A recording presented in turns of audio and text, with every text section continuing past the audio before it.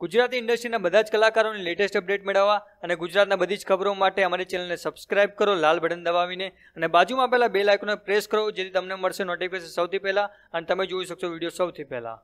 નમસ્કાર દોસ્તો SP entertainment ચેનલમાં તમારું સ્વાગત છે. બોલિવૂડ એક્ટ્રેસ પ્રિયંકા ચોપરાએ અઢાર જુલાઈના રોજ પોતાનો સાડત્રીસમો જન્મદિવસ સેલિબ્રેટ કર્યો હતો. એક્ટ્રેસે મિયામીમાં પોતાનો જન્મદિવસ, પતિ નિક જોનસ, માતા વધુ ચોપરા અને કઝિન પરિણીતિ ચોપરા તથા પરિવારના નિકટ સભ્યો સાથે સેલિબ્રેટ કર્યો હતો. પ્રિયંકાએ જન્મદિવસ પર five star five star cake કાપી હતી. આ કેકની કિંમત હવે સામે આવી છે.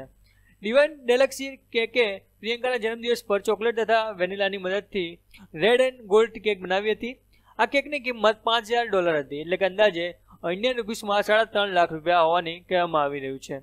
પ્રિયંકા જન્મદિવસ પર રેડ એન્ડ ગોલ્ડ ડ્રેસ પહેર્યો હતો અને કેક તથા પ્રિયંકાના આઉટફિટ એકબીજાથી મેચ થતા હતા. પ્રિયંકા ચોપરાએ પરિવાર સાથે મિયામીમાં યોટ પાર્ટી પણ કરી હતી. આ દરમિયાન પ્રિયંકા સ્મોકિંગ કરતા જોવા મળી હતી જેને લઈને પ્રિયંકા સોશિયલ મીડિયા પર ખૂબ જ ટ્રોલ થઈ હતી.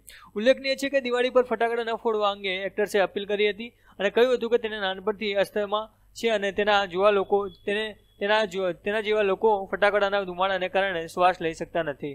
આ વાતને લઈ સોશિયલ મીડિયા યુઝર સવાલ કર્યો હતો અને ક્યાં છે અસ્મતા? અને ત્યારબાદ પ્રિયંકાએ મિયામી બીચ પર જઈ પતિ નિક સાથેની રોમાન્ટિક તસવીરો શેર કરી હતી. તો બસ આ વીડિયો માટે આટલું. ફ્રેમ મળશે વીડિયો સાથે. વીડિયો ગમે તો લાઈક કરો કમેન્ટ કરો શેર કરો અને અમારી ચેનલને સબસ્ક્રાઈબ કરો.